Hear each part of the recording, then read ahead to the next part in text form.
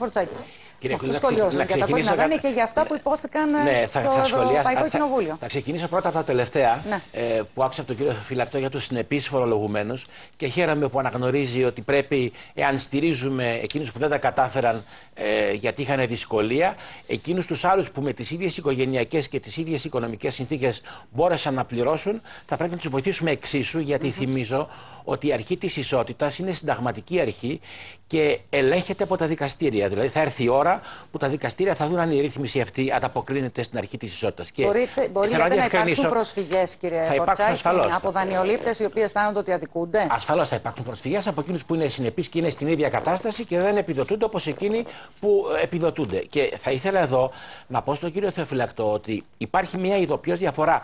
Για πρώτη φορά παρεμβαίνει στο θέμα ο κρατικός προπολογισμό.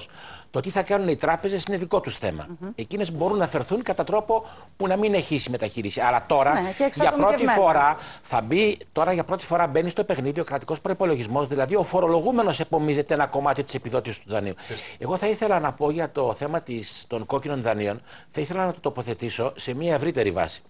Να πω ότι Καταρχήν χαίρομαι πάρα πολύ που η Ευρωπαϊκή Ένωση επιτέλους ε, ασχολείται και με τις τράπεζες, οι οποίες είναι εξαιρετικά ασίδωτες σε όλο τον ευρωπαϊκό χώρο και οι οποίες, όπως ξέρετε, έχουν φτάσει στο σημείο να νομοθετούν μόνες τους για τον εαυτό τους σε παγκόσμιο επίπεδο. Έχουμε λοιπόν ένα μεγάλο πρόβλημα, το οποίο είναι και πρόβλημα δημοκρατικής λειτουργίας της κοινωνίας μας, εάν μπορούμε να αφήσουμε τις τράπεζες να γράφουν τους νόμους για τον εαυτό τους. Αλλά Χαίρομαι που η Ευρωπαϊκή Ένωση επιτέλους ορισμένα μέτρα θέλει να τα πάρει για να περιορίσει ένα φαινόμενο που δεν είναι μόνο καθαρά ελληνικό.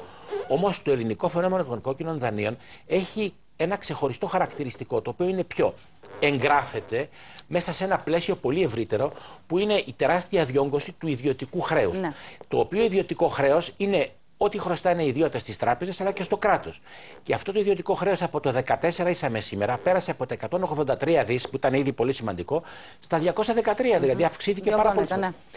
Έρχεται τώρα η κυβέρνηση με μεγάλη καθυστέρηση να ρυθμίσει ένα ζήτημα τόσο κέριο και μάλιστα το ρυθμίζει κατά τρόπο που δεν καλύπτει, το είπατε και προηγουμένως, δεν θα επανέλθω, όσα είχε υποσχεθεί η ίδια παλιότερα ή όσα έλεγε ως αντιπολίτευση, αλλά και λιγότερο από όσο καλυπτόταν μέχρι Ήταν σήμερα. αναμενόμενο Εν βεβαίως πάση ότι θα περιπτώσει, υπάρξει το- το- μέχρι το- να το- βρεθεί Το η αντιπαρέρχομαι χρυσή τομή. αυτό. Λοιπόν, το αντιπαρέρχομαι και λέω ότι είναι πρόβλημα μεγάλο, αλλά το πιο σημαντικό είναι ότι παραμένει ένα πολύ μεγάλο κομμάτι των ανθρώπων που θα έπρεπε να μπουν σε ρύθμιση εκτός ρύθμισης.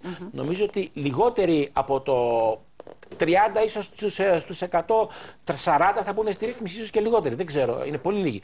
Και υπάρχουν πάρα Απ' την πολλοί άλλη, όμως, επωφελούνταν και στρατηγικοί κακοπληρωτές, όπως λέμε. Ασφαλώς πρέπει να υπάρξει ρύθμιση για να αντιμετωπίσουμε τους στρατηγικούς κακοπληρωτές που είναι πολλοί, είναι περίπου το 1 τρίτο.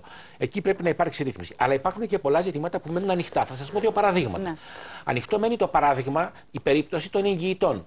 Θα μου πείτε νομικά ο εγγυητής είναι σαν τον πρωτοφιλέτη. Αλλά πρέπει να λάβουμε υπόψη ότι, Ότι τα άλλαξε κριτήρια. το περιβάλλον Έχει ε, αλλάξει πολύ το δραματικά από τότε που υπέγραψε μέχρι τώρα. Ακριβώς. Και όχι μόνο αυτό, αλλά ότι και οι τράπεζες με τη συμπεριφορά τους δεν εξαπατούσαν με, με την νομική έννοια του όρου τον, ο, τον εγγυητή, αλλά τον παρέσυραν Ναι. σε μια κατάσταση η οποία τον οδήγησε σε αδιέξοδο. Και πρέπει να δούμε πώς τα κριτήρια που θα εφαρμόσουμε τώρα για τους πρωτοφυλέτε θα μπουν και για τους εγγυητές προσαρμοσμένα. Δεύτερο, όσοι Τώρα ρίχνουμε τους ο, δανειζόμενους στα χέρια των τραπεζών με την α, συμπλήρωση του αυτόματου συστήματος όπου υπάρχει βέβαια ένας αλγόριθμος που θα βγάλει ένα αποτέλεσμα αλλά πάντως παραμένουν στα χέρια των τραπεζών οι τελικές κρίσεις. Δηλαδή αν η τράπεζα δεν θέλει δεν συμφωνεί και θα πρέπει ο δανειζόμενος να τρέχει στα δικαστήρια επί χρόνια και στο μεταξύ να πληρώνει τη δόση του κανονικά. Εκεί υπάρχει λοιπόν ένα πρόβλημα το οποίο Υπάρχει, είναι σημαντικό. λέτε, υπάρχουν κάποια κενά, λέτε. Μεγάλα ε, κενά. γκρίζες Και ζώνες. τα οποία θα πρέπει να αντιμετωπιστούν και αυτά. Ε, τα οποία κενά υποτίθεται ότι θα καλυφθούν με τις αποφάσεις που θα βγουν από, τον αρμο, από τα αρμόδια υπουργεία και οι οποίες αποφάσεις εξάλλου αποτελούν και όρο η έκδοσή τους για να μπορέσει η Ελλάδα να πάρει επιτέλους αυτό το ένα δισεκατομμύριο που το περιμένει πώς και πώς Ναι. και το οποίο όλο μας το τρενάρουν και όλο μας το δίνουν. Δεν μας το δίνουν όχι μόνο λόγω των κόκκινων δανείων, αλλά και για τους άλλους όρους που δεν έχουμε, ενώ έχουμε συμφωνήσει να τους στηρίσουμε, δεν τους έχουμε εκπληρώσει.